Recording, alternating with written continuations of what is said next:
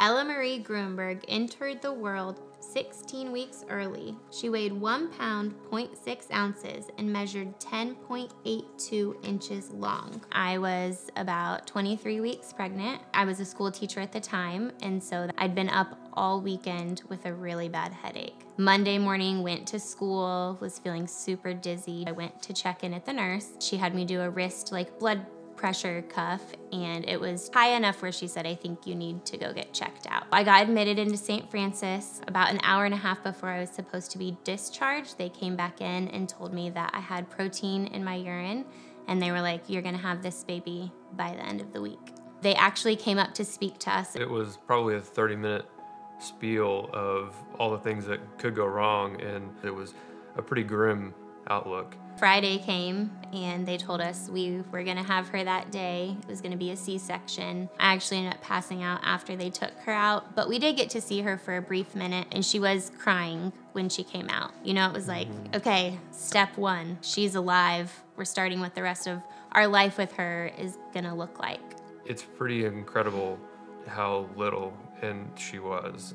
You just you look at it and it's like how how do you do anything with a child like this? When I first met Ella, it was when the nurse brought her into the resuscitation room. She was so very very tiny, one of the smallest living infants I had ever seen. We attached the monitor. She had an excellent heart rate. My impression was just very happy for the situation with how vigorous she was at birth. Easter Sunday, we got a call and they said, We need mom to come up to the NICU. I hadn't really been out of bed a whole lot. It was a very, very long wheelchair ride. That first time they wheeled us down the hallway, and there's like no less than 15 people in her room. And the doctor was like, We need to take you somewhere more quiet that we can talk. And she was like, you know, she was breathing on her own when she came out. She really didn't need a lot of support, but we've had to put her on high frequency jet ventilation. She's had a lung that's collapsed, you know, and you're thinking of how tiny she is, and you're like, a lung that's collapsed. Like, she's not even as big as a lung at that point. And so they wanted me to see her because they didn't know if she was gonna make it. She had air outside of her lung between the lung and chest wall so that pushed everything over and she couldn't breathe. Immediately, her oxygen levels dropped, her heart rate dropped, and she was critically ill within a matter of 30 seconds. You know, I had seen her several times. I had been in there, I had sat with her, but she had not had that opportunity yet. One of the nurses that uh, Amanda asked, Can I touch her? And in that moment, everybody just stopped and one nurse grabbed her and picked her up and brought her to her in the wheelchair in the doorway and let her reach out and just touch her. Just getting her stabilized because of her size was difficult. The lungs were not working properly. She developed the pneumothorax. We didn't have the access we needed because of her size. At about three weeks of age, she had to have heart surgery. You figure her heart is only this big, and they're operating on a blood vessel next to that heart, so tiny, and had to go in and clip that blood vessel closed. Every part of her needed a little bit of TLC and uh, a lot of technology.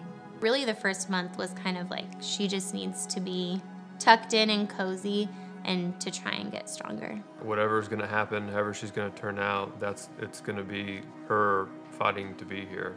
It was just amazing how strong she was through all of this. One of my friends had gifted me a binder filled with notebook paper, and every day I dated, like I listed the na names of the nurses that were in her room, her respiratory therapist. That's kind of how I plugged in. Her mom was there with her more than I was, and she would make observations and bring suggestions and observations to me that helped me with Ella's care it is not lost on us how lucky we are to have had our 24 week baby in somewhere that was a level 4 NICU. St. Francis is one of only two NICUs in the state of Oklahoma that has a level 4 NICU, which are NICUs with the most extensive ability to care for infants. Specialized ventilators, specialized equipment to care for infants of this size. So the team that we have here of expertise with our nursing staff and the ancillary staff just gives us everything we need to help care for an infant that has as many complications as Ella had.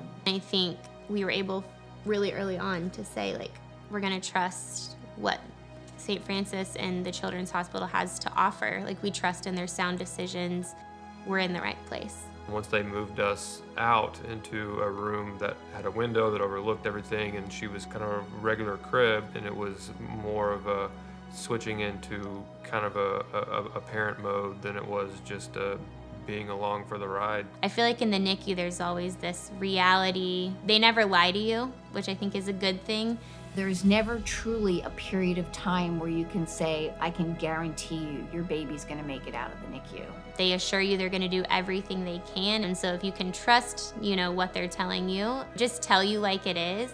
I think that really does help you stay grounded. She came home on a bradycardia monitor and on oxygen. We got home, we got her out, and then we crossed the threshold and her monitors started going off. And that was yeah. Pretty jarring. She kind of settled down and we were able to kind of take a deep breath and kind of look at each other and say, oh, here we go. But that's kind of how it was for at least the first two or three weeks. They tell you when you are discharged she's on her own path.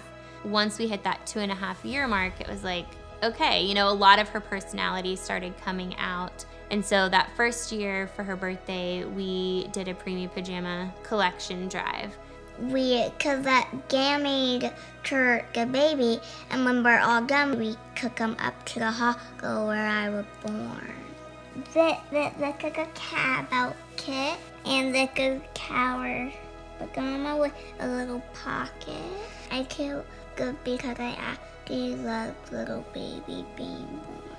Now that Ella is getting older, like she helps unwrap the stuff. She holds up each piece and comments like how much a baby is gonna love being in the pajama piece. Her mother sends me pictures routinely. My favorite one, it is a picture of tiny little Ella at a year sitting next to a picture of herself as a newborn just watching her as she grows and seeing that she can do everything that she needs to do as a happy, healthy seven year old. Again, it's extremely rewarding. Just to know how much she has overcome, especially in those first 24 hours, 72 hours, first couple of weeks, she'll always be our little miracle girl. Looking at what she is today, I mean, there's no way you could say that mm-hmm. she's not a miracle.